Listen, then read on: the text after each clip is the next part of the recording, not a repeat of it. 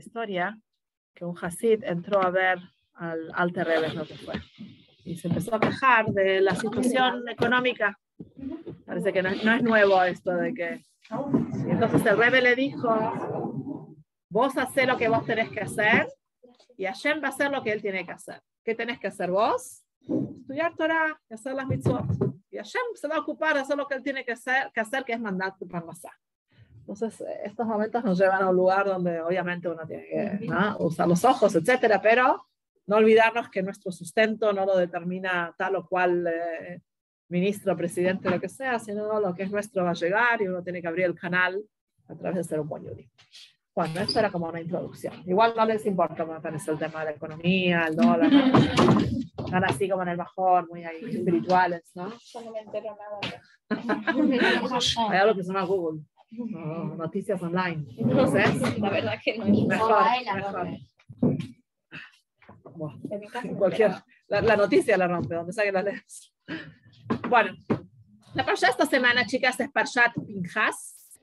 Estamos en lo que se llama las tres semanas, las tres semanas, o Bein Ametzarim, entre los estrechos, que son estas tres semanas que van desde 17 de Tammuz hasta Tisha B'Av.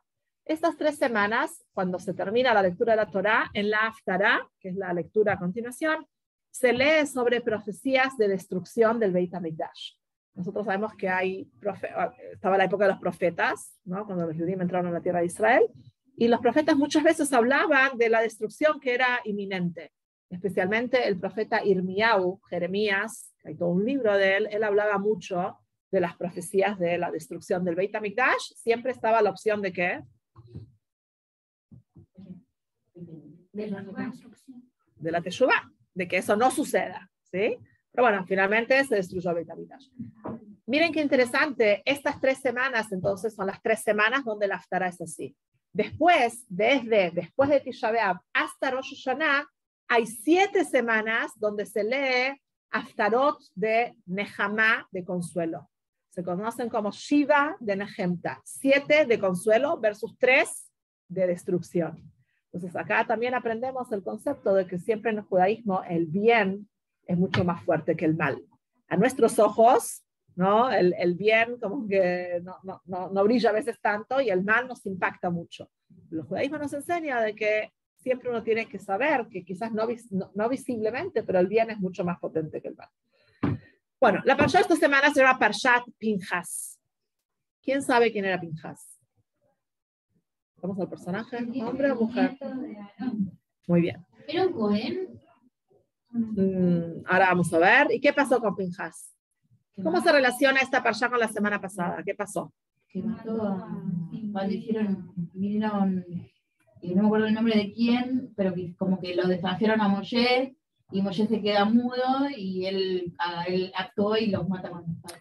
Bueno, muy bien, un escenario sensible el pueblo yudí venía muy sólido, muy blindado. Bilam, el malvado, quiere maldecirlos porque así lo contrataron para eso y no logra. Cada vez que los ve, ve como una fortaleza, una bendición y solo le salen bendiciones. Matobu aleja Jacob, que decimos en la tefilá. Matobu aleja Jacob. Bueno, esas son palabras de Bilam. Qué lindas son tus carpas, Jacob. O sea que él veía solo lo bueno.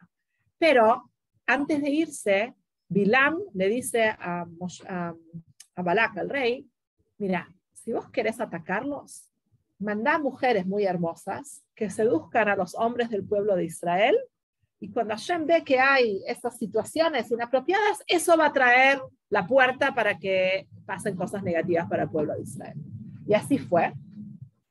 En lo que refiere a la atracción eh, hombre-mujer o a las leyes Ustedes saben que hay muchas alajot que tienen que ver con el cuidado y el escenario especial que Hashem nos propone al pueblo yudí con respecto a esto, ¿no? Tanto a las leyes de tzniut, las leyes de pureza familiar, em, las leyes de Ihud. ¿Escucharon hablar de las leyes de Ihud?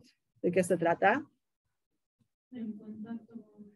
De no estar a solas un hombre y una mujer que no tienen un vínculo familiar. Son leyes muy interesantes para estudiar y hoy en día, en, el, en la época del Me Too, uno dice, wow, cuántas mujeres ¿no? No, no, hubiesen sufrido todo lo que sufrieron si está, ¿no? no es una ley para todo el mundo, pero es una protección ¿no? que Entonces, eh, hay un dicho de los sabios. A veces uno dice, pero yo soy una persona de valores, yo soy fuerte, a mí esta situación no me expone, yo puedo, yo estoy por sobre. Y la realidad es que los sabios dicen, en apotropos larayot. Nadie está exento de esa energía especial que Hashem genera que haya a veces entre un hombre y una mujer.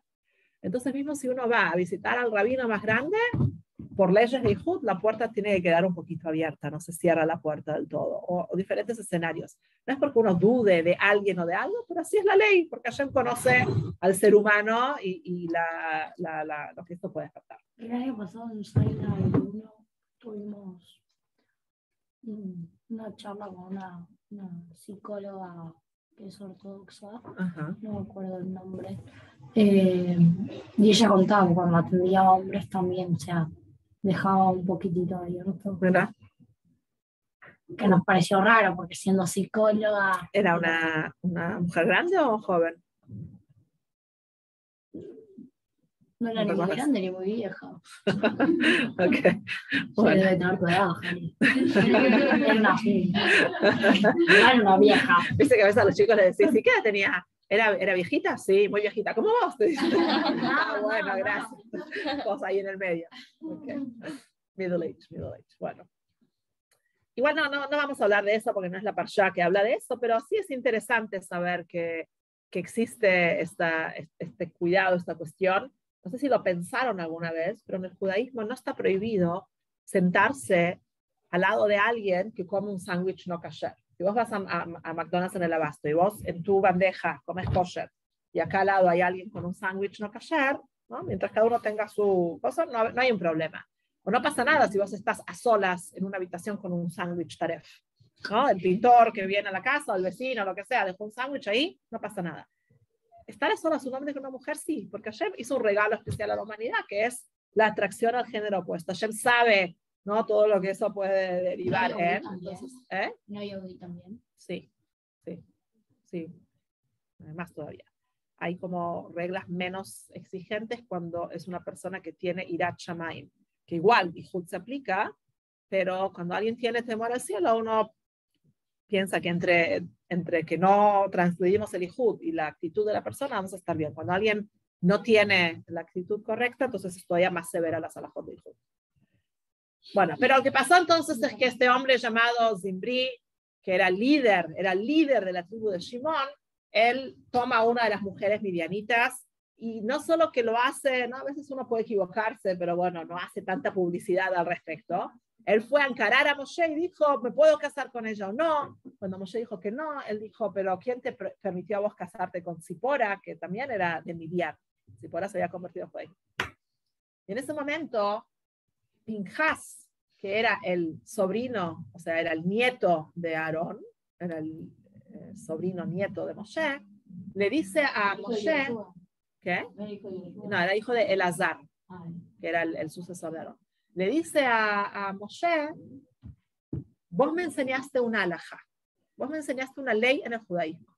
Es una ley delicada, quiero que entendamos el contexto. Había en ese momento 24 mil muertos por la epidemia que esto había eh, despertado.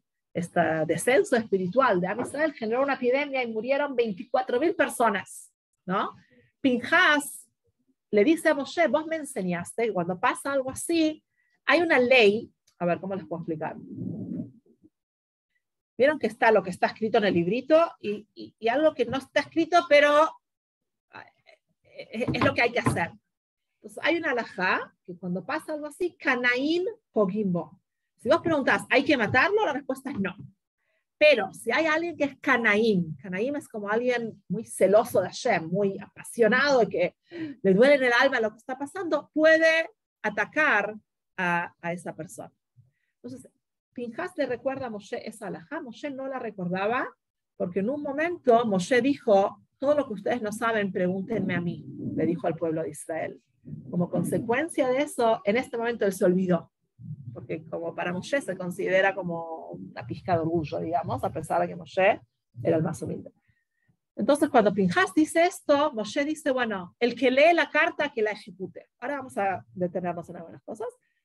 El que lee la carta que la, que la lleve a cabo, o sea, vos trajiste la alajá, aplicala, y ahí se da un milagro muy grande porque toda la tribu de Shimón estaba ahí como revolucionada y Pinjas logra entrar y mata a Zimbri y Cosbi, que era el hombre y la mujer, en el mismo, en el momento que estaban en, en la carpa juntos. Pasaron muchos milagros, pero siempre que alguien actúa, ¿qué pasa al día siguiente? Eh, al- va, a haber comentarios. ¿Y qué decían todos? Ah, Pinjas, ¿de dónde le salió esta actitud? Pinjas tiene la línea paterna que es Aarón. Aarón es el símbolo del amor al prójimo. Aarón cuando fallece todo el pueblo lo llora porque él no diferenciaba y abrazaba a todos y trataba de ayudar a todos. De él no, no heredó esta actitud de ir y tomar las riendas y matar a, a. ¿De dónde lo sacó? De la línea eh, materna que él descendía de Itro. Itro era en su momento un- una persona que hacía mucha idolatría, después se acercó al judaísmo, se convirtió y acompañó, era el suegro de Moshe. Pero en sus orígenes, Itro era... eh, Pero, no ¿todas las acciones tienen que ver con antepasados? Yo no puedo tomar buenas decisiones si tuve 100%, pero viste que en la calle, cuando caminas por la calle y uno escucha las malas palabras, muchas veces involucra a la familia. ¿no? Como que la gente tiende, no digo que es algo inteligente lo que dijeron o que era real, pero lo trataban de, de decir de dónde viene. No, sí, Baruch Hashem uno puede eh, totalmente escribir su propio libro, ¿no? Es más fácil a veces eh, copiar el patrón que ya viene instalado, es más trabajo, ¿no? El camino de Teshuvah implica muchas veces eso, ¿no? Pero hay, tres coronas en el judaísmo, la corona de la Keuná, que es justo habla de la persona, la corona del reinado y la corona de Torah. La corona de la Keuná y del reinado se hereda. Vos sos Cohen si tu papá es Cohen. Eh, reinado también tenía que ser descendiente del rey David. Torah, que Torah también implica ser buena persona y las decisiones del día uno, esa no se hereda. Esa no importa quién fue tu abuelo o importa quién es uno. Rabbi Akiva no tenía ningún personaje importante en su historia llegó a ser el sabio más grande. Y en cambio el hijo de Moshe Rabbeinu no lo encontramos más en la Torah. ¿no? ¿Por qué? Porque depende de mí. Obviamente que a veces hay lo que se llama Shutabot, mérito de los antepasados. Estoy segura que todas las que estamos acá tenemos alguna bobe, algún zeide, algo, algo plantó, ¿no? Uno no sale de un repollo, pero ¿no? también es mucho esfuerzo y mérito. Bueno, entonces, en ese momento que la gente hablaba, y me hace acordar a, ¿cómo es esto que dice? Em, ladran señal que cabalgamos, ¿no? En nuestra, en la literatura argentina, ¿no? No dice, eh, hay una frase en un libro muy famoso, me, se me olvidó el nombre ahora, Martín Fierro. De Martín Fierros, ¿no? ¿Era ahí? Sí. que decía ladran, señal que cabalgamos. Entonces, lo que quiero decir es que la gente hablaba porque Pinjas hizo algo. Si vos te quedas en tu casa y no haces nada y no, no te vinculas con nadie y no tratas de generar nada bueno, nadie va a hablar de vos. Pero cuando uno hace cosas, probablemente haya gente que esté de acuerdo y gente que tenga para criticar. Entonces lo criticaban y ahí fue que ahí empieza la parsha de esta semana. Lo que él mató a Zimbri era la semana pasada. En la parsha de esta semana empieza que Hashem le dice a, a Moshe que Pinjas va a ser un Cohen. Pinjas ben Elazar ben Aarón a Cohen, así empieza, lo, lo, lo asocia con Aarón, con esto de la bondad, y como él actuó de esa manera, él va a ser Cohen. ¿Cómo va a ser Cohen si era nieto de Aarón? ¿Qué- ¿Cuál es el regalo este especial? ¿No eres a Cohen? El tema es que cuando Hashem le obsequió la que una a Aarón, era de ese momento en adelante y, el, y, y Pinjas ya había nacido, entonces quedó como en esa brecha que no eran Kohanim.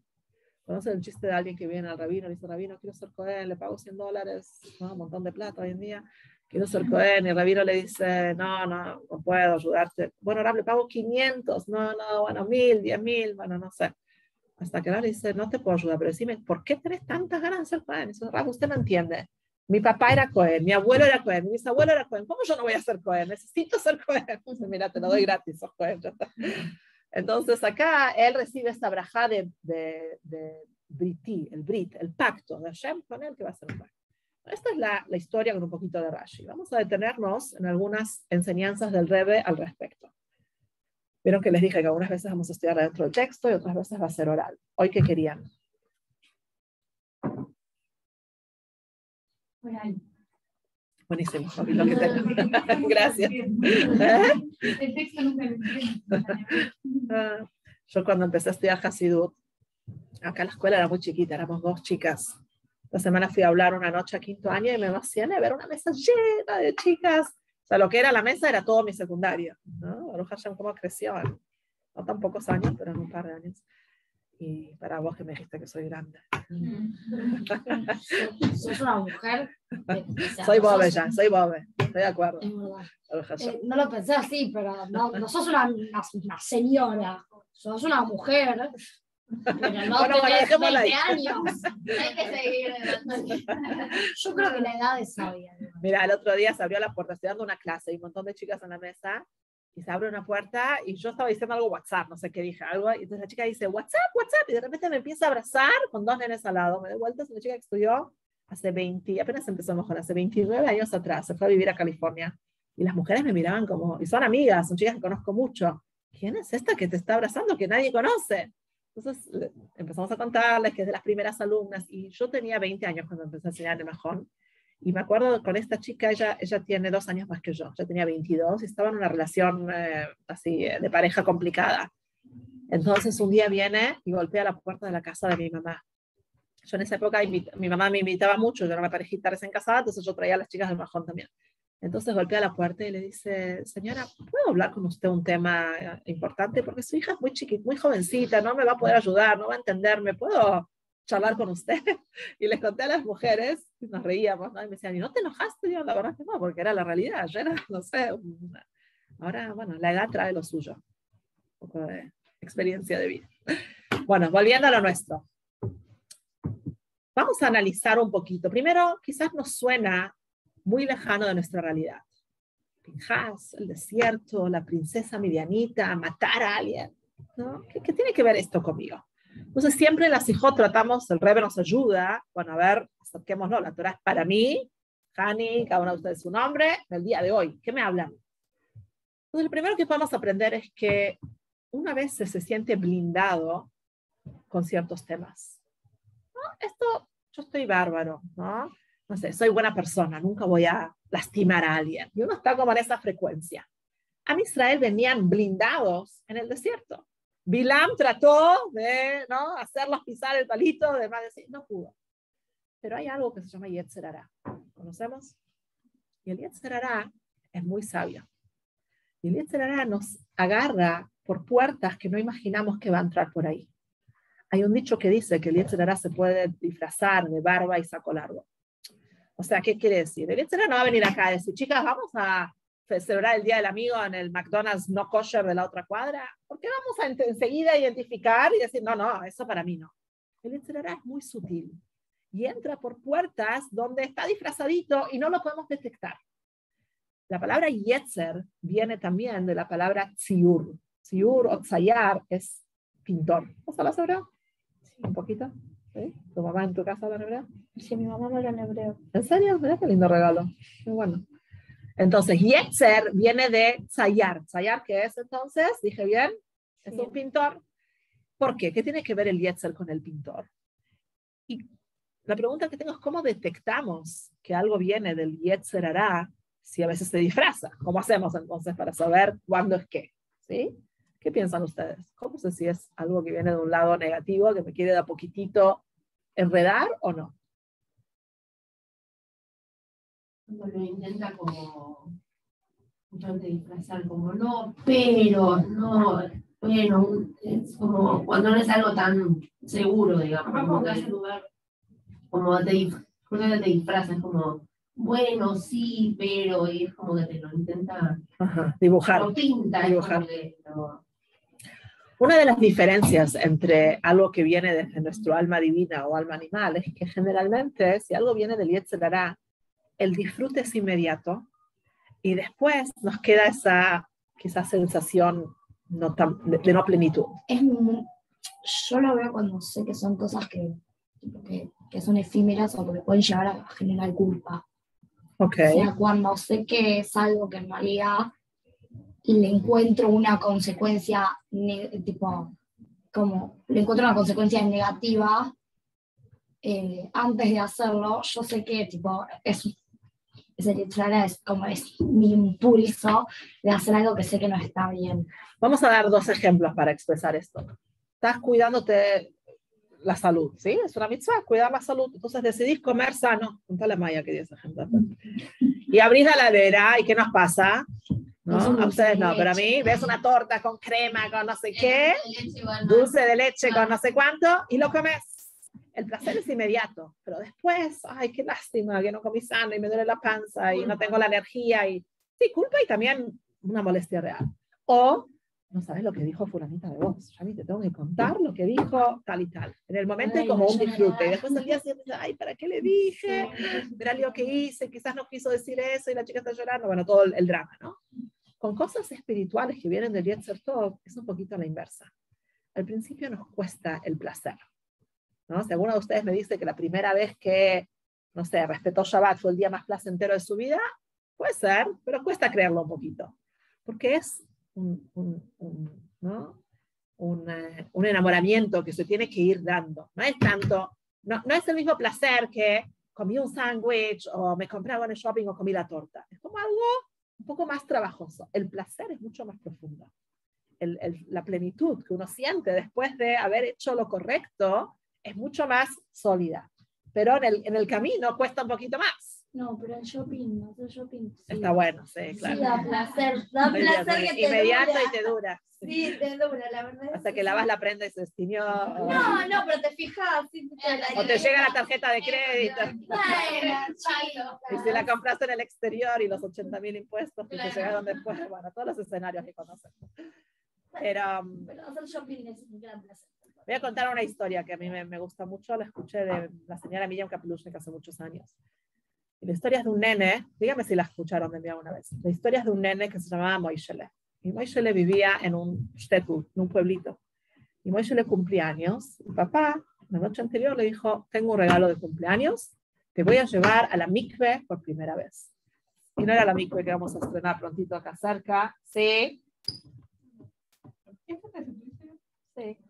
¿Dónde estaba? Ahí abajo, la mesa en pantalla. Ok. Gracias, Dominga. Eh, entonces la mamá escuchó y se quedó como, ¡Ah! no, Moishe no entendía por qué. ¿Alguna lo escuchó de mí alguna vez? No la cuento express o no. Entonces la mamá le prepara colchados y mantas y bufanda y abrigo porque sabía que no era fácil. Estamos hablando de Rusia, inviernos muy, muy crudos. Y a la mañana siguiente el papá lo despierta y Moishe le salta de la cama y la mamá se tapa, no quiere ni saber, le dejó todo preparadito y se van el papá y el hijo. Empiezan a viajar y atraviesan todo un bosque y de repente llegan al lago del pueblo con así una capa de hielo congelada. El papá dice, llegamos a la mikve. Y ahí se le congela la sonrisa a Moishe, ¿no? Entendió lo que está por pasar. Entonces el papá lo saca de la carroza, agarra el pico, empieza a hacer el agujero en el hielo, terrible, y ahí cuando Moishe está, lo, ayuda a desvestirse y lo ingresa en el agua. Y apenas los piecitos de Moishe le tocaron el agua, el nene dijo, ¡ay!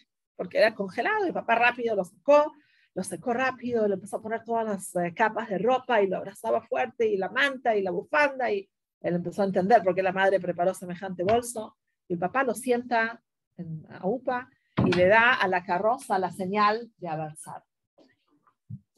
Cuando están avanzando en el, en el bosque, después de unos minutos de estar tiritando y con un frío tremendo, por fin empieza a calentarse y de repente Moishe dice, ah, ¿no? Volvió en sí. Y el papá para la carroza en la espesura del bosque y lo enfrenta y le dice, Moishe, hoy el regalo no fue solamente ir a la mikve, hoy también te regalé algo que te quiero explicar. Acordate siempre que en la vida hay cosas que empiezan con un ah, pero después son un hoy. Y hay muchas situaciones que son un hoy al principio. ¿no? Quebrar hábitos y entender algo nuevo y adaptarlo a la vida de uno. Pero después de un ratito son un ah. ¿no? Y creo que si pensamos en eh, escena- escenarios muy cotidianos, podemos llegar a entender esa idea. Es lo que hablábamos antes. ¿no? Si, si, si cumplir mitzvot sería tan espontáneo el placer y la, no sé, la magia, estaríamos todos cumpliendo mitzvot. Pero es un, un trayecto, un trabajito, ¿no? Hasta que uno se convence, hasta que el entorno acompaña, hasta que uno empieza a... También creo que se puede asociar cuando uno aprende, no sé, un instrumento.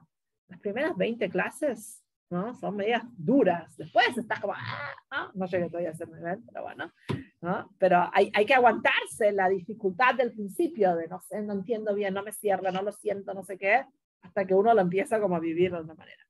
¿Qué piensan al respecto? ¿Escribiste algo sobre esto, Sharon? No, porque Todavía no.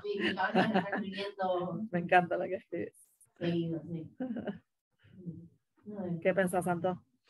Era pensativa. Sí, ok. Bueno, entonces esto tiene que ver con lo que hablábamos de que Am Israel se sentían como medios protegidos y el Yetzirah, si quiere y si uno le abre la puertita, puede encontrar la manera y que si uno pinta, imagina qué va a pasar en un rato, si ese hoy, ¿no? O ese ah, ¿no? Eso puede definir. Hace unos años leí un libro de la técnica del 10, 10, 10. Decía, cuando algo te enoja o te estresa mucho, pensá cómo te vas a sentir en 10 minutos, 10 meses o 10 años.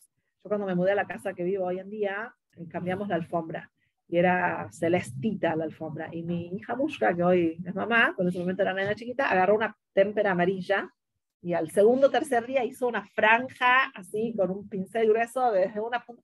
Yo me acuerdo mi enojo, mi frustración en ese momento. Pero si uno piensa 10, 10, 10, ¿no? a los 10 minutos estás muy enojado, a los 10 meses ya le encontraste la vuelta y no sé, ya, ya y 10 años más tarde es un chiste, ¿no?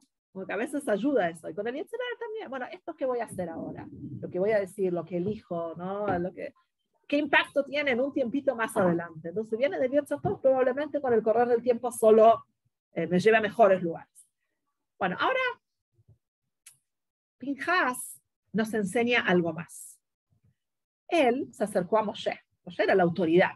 El problema no era un problema personal de Pinjas, era un problema de 24.000 muertos, todo el pueblo conmocionado, un líder de una de las tribus. Él era el pequeño Pinjas. Se acerca a Moshe con un planteo. ¿Y qué le dice Moshe a él? Le dice, actúa. ¿Qué nos enseña? Nos enseña que muchas veces esperamos que los encargados, los líderes, los directivos, los que están en los puestos hagan lo que tienen que hacer. Y quizás Hashem tiene reservado algo para mí, que es mi oportunidad y mi mérito que yo puedo lograr. Por ejemplo, me queda un ejemplo.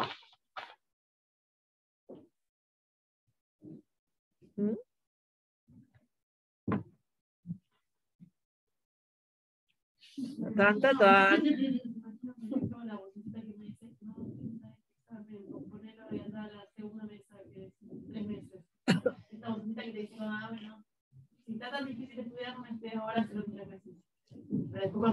meses después. que me animé, que lo hice, que me tiré a la pileta. Es un buen ejemplo y también quizás lo podemos relacionar con brindar al prójimo. A veces, no sé, entra una chica y dice, no sé, eh, ¿cómo es la experiencia en Shabbat? Me dice, ah, espera, le voy a decir a fulanito que te invite, o le voy a decir a tal que te enseñe. Quizás uno puede, desde un lugar de, de amiga y más cálido, mostrarle, y uno tiene la oportunidad de ser aquel que, que, que hace el gol. Como una cancha, ¿no? Que dice, ah, no, pero no, yo no conozco mucho de fútbol, pero ¿quién es el que patea la pelota y debería meter el gol? El delantero, ¿no? Y el delantero está tirado en el piso, lesionado, no sé y la pelota la tenés vos, pero no sé, no, no importa, querido, pateá y que todos te aplaudan que metiste el gol, ¿no? O sea, ya nos va, lo- los sabios dicen que este mérito especial de detener la pandemia, la, la, la, la epidemia, etcétera, era de Pinjas. Y a pesar de que él era chiquitito y quizás no tenía la fuerza, cuando llegó la situación, él, él pudo ayudar, él, él, pudo hacerlo porque era un mérito que tenía que venir al mundo a través de él. ¿Qué decís? eh? No, iba a decir, a mí me pasó algo así la semana pasada. de- yo salí con un chico durante cuatro o cinco meses y los últimos meses ya me había empezado a hacer muy mal. Eh, tipo, como que no, no congeniábamos y me empezó a hacer muy mal. Hoy en día me llevo mucho mejor, tipo, no salimos más, pero no somos amigos, pero tenemos una buena relación y es el coordinador del, del kinder donde va mi hermana a los grupos. Y la semana pasada me habló, me habló para pedir un. Me habla cada tanto para ver cómo estoy, nos vemos, tenemos vínculos en común, pero me, me habló para pedirme un favor. Eh, yo dije, ¿por qué te voy a hacer un favor a vos? si me hiciste re mal. No, no, no. Y después dije, no, pero yo no soy así. Y le contesté, le dije, estaba y así, ¿qué necesitas? Bueno, Baruch Hashem, tipo, nada, o sea, lo pude ayudar y me terminé sintiendo muy bien porque me hizo mucho mejor decirlo, pero no importa lo que él hizo por vos, tipo, importa lo que vos haces, importa quién querés ser y lo que vas a hacer con eso. No, como que no me quería dejar consumir por, por lo que me dolió, sino por lo que quería tipo decir, bueno, ok, puedo dar un fruto mejor. Y no Sí, que- quiero que nada a cambio de él, quiero algo que me llegue a mí.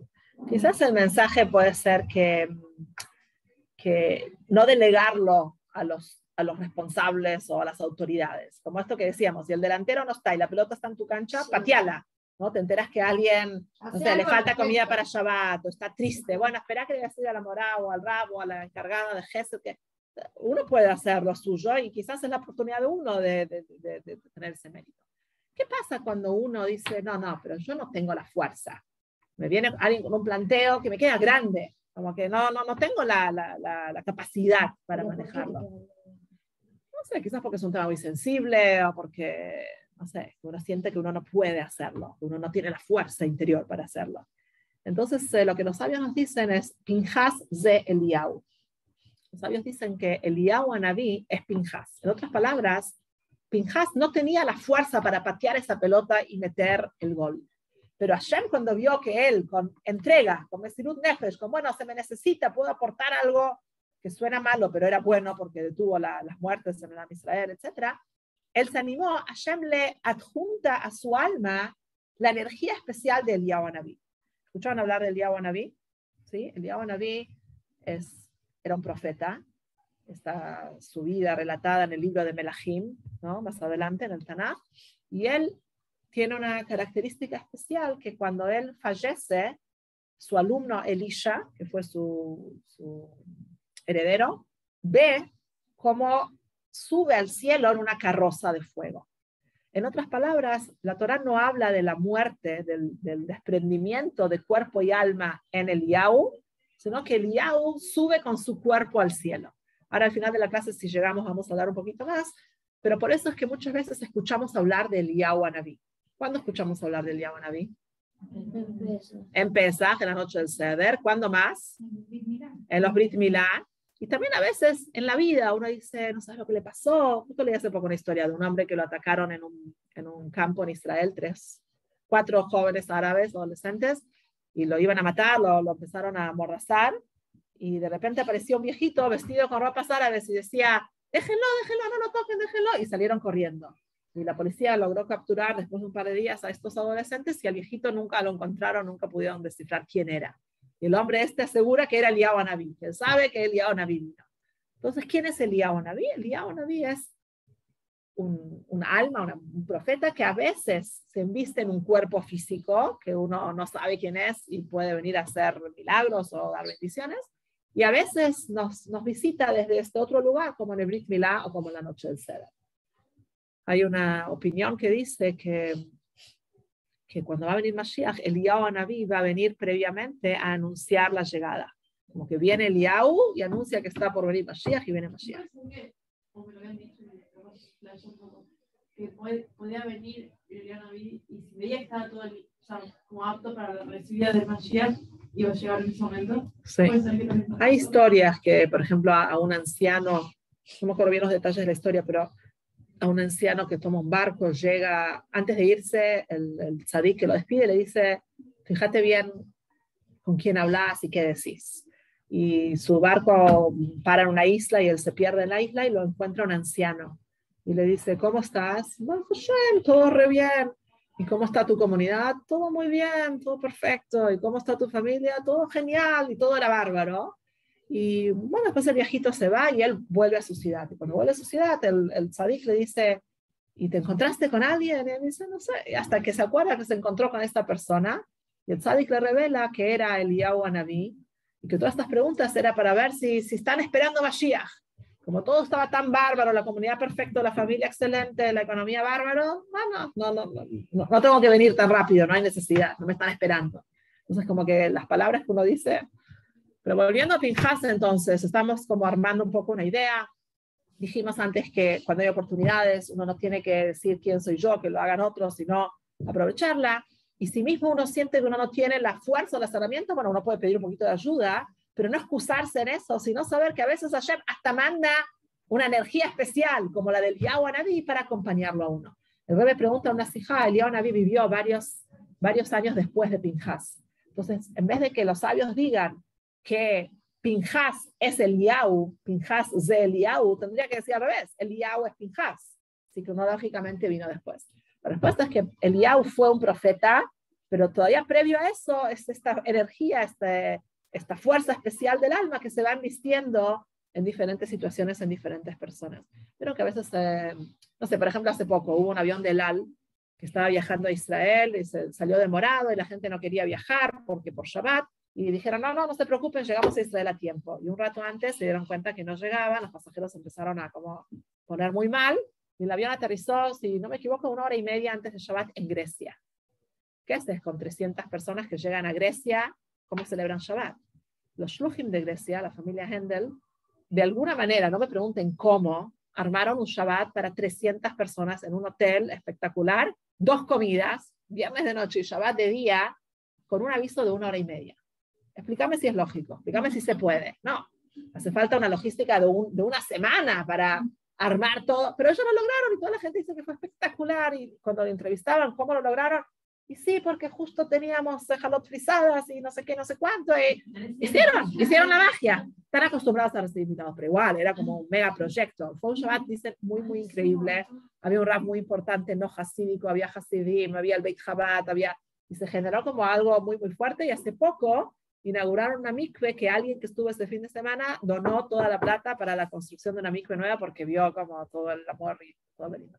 Okay, te cuento toda la historia, primero que es linda eh, googlearla y ver qué se trató, pero también porque uno piensa que no tiene la fuerza y cuando uno está haciendo lo correcto, Hashem te, te, te da, te adosa esa energía especial. A veces alguien te pregunta, pero decime una cosa, yo estoy saliendo con alguien no ayudí, ¿qué tiene? ¿Por qué no, no, no es lo apropiado? Dice, Ay, no sé, espera, espera, que el Raf te conteste, yo no, no, no tengo las palabras. Quizás sí tengo las palabras. No digo que Raf no pueda ayudar a que el concepto se aclare, pero quizás uno sí tiene justo la palabra que el otro tiene que escuchar. Y por último, la gente debatía si él viene del lado de Aarón o del lado materno, que lo asociaban con algo bueno. Primero, no hablemos de otros, ¿no? centrémonos en nosotros, tenemos bastante para trabajar que, que, estar catalogando a las personas alrededor. Pero el punto principal es que Aarón a Cohen es sinónimo de shalom, de paz. ¿no? El Pirkei Avot dice, Shel Aarón, sé como los alumnos de Aarón, o Ev Shalom, pero Dev Shalom, ama la paz, persigue la paz, etc. Uno quizás erróneamente asocia la paz con qué? Con Peace and Love de los 70, ¿no? ¿Con qué? Tranquilidad.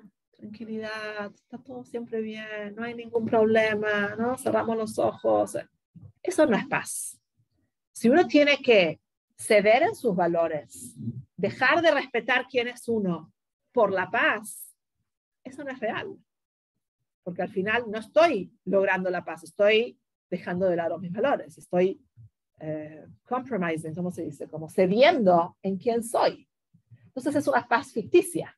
Es como que alguien tiene una lastimadura que necesita cuidados especiales y uno le pone arriba una curita. Listo, te curé.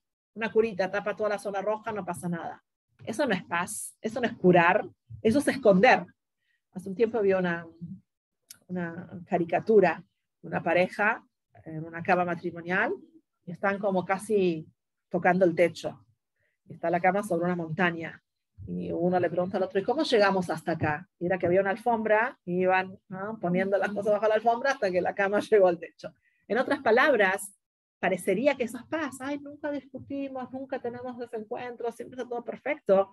Pero eso no es paz. Paz es con, con sensibilidad, y, y- y no desde un lugar narcisista o egoísta y, y- sin terceras eh, objetivos, ¿no? Eh, intenciones, pero a veces ¿no? uno tiene que poner sobre la mesa si hay una diferencia y, y poner un límite y, y decir que sí o que no. ¿no? Entonces, cuando asociamos paz o Abad Israel con no se puede hablar de nada, todo está bien, quizás no es lo correcto. A veces una verdadera unión es cuando nos podemos sentar y con altura y con respeto decir, mira, a mí me molesta que vos dejas prendida la, la luz a la noche y a mí, a mí me encanta dormir con vos, ¿no? Tenemos acá la absencia. Pero te pido, por favor, si a la noche podés no hacer ruido, estar con una sonrisa eh, ficticia y adentro que a uno le, le, ¿no? le, le- arde algo, no es Abat Israel, porque al fin y al cabo en el corazón uno no está en ese lugar. Entonces uno no tiene que tener miedo de decir las cosas con altura y eso no significa que uno no sea de la línea de Arona Cohen, ¿no? Porque a veces es lo que hay que hacer. Quiero terminar con em, una imagen que, hablando de esto, de, de no ceder a los valores, que la paz no se obtiene a todo precio, como regalando lo que uno defiende en la vida o quién, quién es uno, que no sé si ustedes vieron o no, que la semana pasada Biden visitó Israel. Y hay una chica que canta hermoso, Yuval Dayan, es una cantante israelí, eh, y ella tiene millones, millones no sé, pero cientos de miles de seguidores, es muy conocida en Israel, tendrá 28, 29 años, y hace ya varios años está en un proceso de teshuva. Ella vino de una familia sefaradí, así tradicionalista, y empezó a hacer teshuva y era shiurim de Torah y todas estas cosas. Y la contrataron o le pidieron, no sé cómo fue, que venga a cantar a Biden, al presidente, que esté en la recepción, porque es una cantante muy buena. Ella avisó previo que ella no da la mano a hombres. ¿Viste? ¿Vieron alguna vez? Y entonces eh, lo pueden buscar en YouTube. ¿Qué? ¿Qué mushki? ¿Tu hermano? Ah, puede ser, no sé. No la sigo. la tengo que empezar así. Entonces, ¿qué pasó? Eh, terminó la, la canción y Biden se levanta y extiende la mano a un cantante que cantó junto con ella. Entonces el cantante le da la mano y él sigue con la mano y se acerca a la chica. O sea, todos los canales de televisión del mundo entero la están filmando. Biden está en Israel, es ¿no? big deal. Y la chica, eh, Yuval, tiene el micrófono en la mano y hace así todo un gesto como de mucho aprecio y cariño y no sé qué, y respeto, pero no le extiende la mano. En Israel se generó todo un revuelo, si hizo bien, si no hizo bien, si la halajá requiere eso, si no requiere, etcétera. Pero creo que quizás perdimos un poco, un poco el punto de lo que sí pasó acá. Lo que sí pasó es Pero que, a tu vez él le hizo como un gesto de que, que fortale- tipo como que sí, de fuerza, como que, que alguien me dijo que la- la- el, el vocero presidencial dijo que al revés, que estaba impactado. qué. Claro, como que a él le pareció como que, qué fuerza que. Pero que- creo que expresa un poquito esto, ¿no? El, el no ceder a los valores de uno. Muchas veces uno quiere algo, pero es qué va a decir el prójimo y cómo me va a mirar la sociedad y qué va a pensar el tercero y cómo voy a quedar frente. Acá una chica joven que, que cantó recién a un público mixto, no es, no es una red, no es una chica que usa peluca y, y- y no sé qué, pero esto es algo que ella decidió cuidar y mismo en situaciones donde hay mucha adversidad porque, o, o mucha presión para, para aflojar, ella se mantuvo firme, ¿no? Entonces eh, venimos justamente del 17 de Tammuz, que fue el Shabbat domingo pasado, y lo que pasó ese día fue que se destruyó la muralla que rodeaba Jerusalén. Y el Rebbe nos enseña que cómo lo podemos acercar a nuestra vida fortaleciendo nuestras murallas. Cada uno de nosotros decide dónde uno se quiere parar y cuáles son las murallas, ¿no? Los lugares donde es- esto es lo que yo quiero ser. Entonces, fortalecer las murallas es la enseñanza de estos días y creo que Bershah Pratit, justo esta chica muy jovencita, ¿no? con mucha presión y muchos ojos puestos, eh, dio un gran, un gran ejemplo. No tiene que ser ese el ejemplo, puede ser cualquier otro tema que uno decide, ¿no? Pero no buscar eh, shortcuts como atajos, o, sino saber defender lo que uno elige, que no siempre es fácil. ¿Es fácil o no siempre? No. O sea, hay veces que en realidad no sé si es más fácil, pero hay veces que es más sencillo, no fácil. Pero a veces cuesta un poco más, tipo, cuando querés mucho algo, uno trabaja, no sé, todos, yo, voy a hablar por mí. Yo trabajo eh, en, que, en llegar a, mi objetivo, en llegar a eso. Pero a, veces tenés unos principios que con tu objetivo quizás se van chocando porque tu alrededor va chocando tu objetivo. Y no te digo que dependés de tu alrededor, pero a veces te influye. Influye. Entonces, muchas veces querés algo, pero decís, ok, quiero esto y en algún momento voy a llegar. Pero voy a ir con baby steps porque. Estás empinado. Sí, porque a veces quizás eh, de repente, como que lograste un montón, pero te terminaste agobiando. Y para mí, los, para mí, obvio, los procesos hay que hacerlos disfrutándolos. O sea, los objetivos que tengas de vida no tienen que ser ya. Porque si se vuelve ya, entonces no es un objetivo de vida, es un objetivo del momento. Sí y no, no sé qué clase, qué clase de objetivos estás hablando, pero si igual. tiene que ver con la teshuvá, muchas veces son como momentos, como que no es un regalo que Hashem, o sea, la teshuvá es un baile de a dos, de alguna manera. Uno pone de uno y Hashem también decide que es el momento, porque uno no es mejor o peor que cualquier otra persona que no está haciendo teshuvá, ¿no? Es como que es como una especie de soga la Neshama, así dice el pasú, y una pa- partecita de la soga está abajo y otra arriba, y, y a veces se mueve de arriba o se mueve de abajo y es el despertar.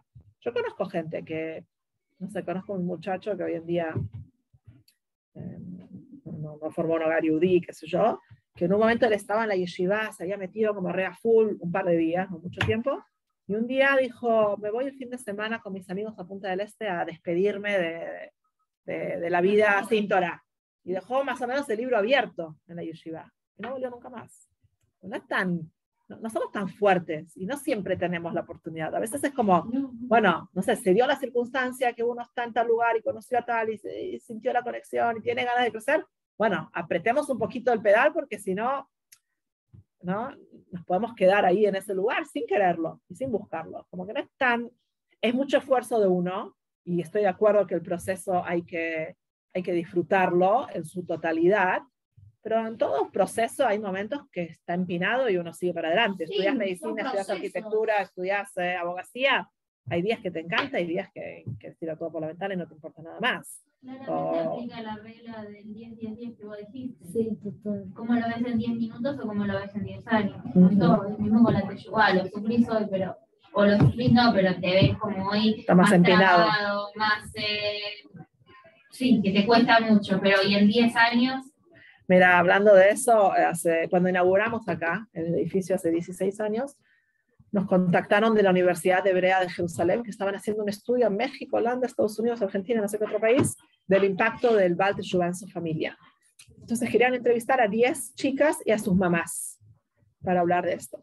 Pero tenían requisitos, las chicas tenían que ser mayores de 30, como, no sé, con, que no hayan hecho Teshuvah recién, había un par de...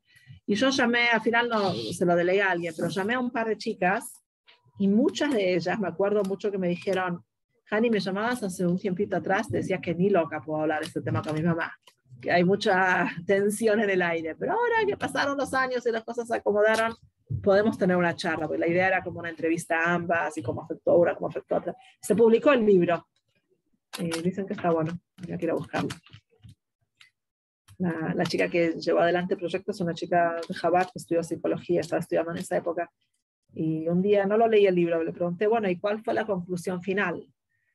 Y me dijo, te voy a decir en un pie. La conclusión era que si la relación era difícil antes de la Teshuvah, va a seguir siendo difícil después también, pero quizás un poco mejor porque uno tiene más conciencia de Kibbutz y el trabajo de las midot. Y, y si la relación era buena antes, va a haber un periodo de las aguas que se mueven, como cuando tiras un diamante al agua, que se, y después todo va a volver a fluir como antes y mejor.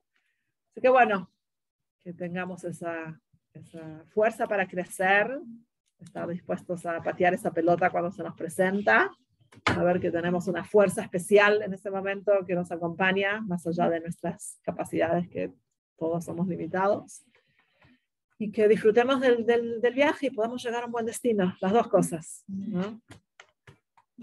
Gracias. Bueno, gracias a ustedes. ¿Estás resfriada? Un poquito. Es el aire.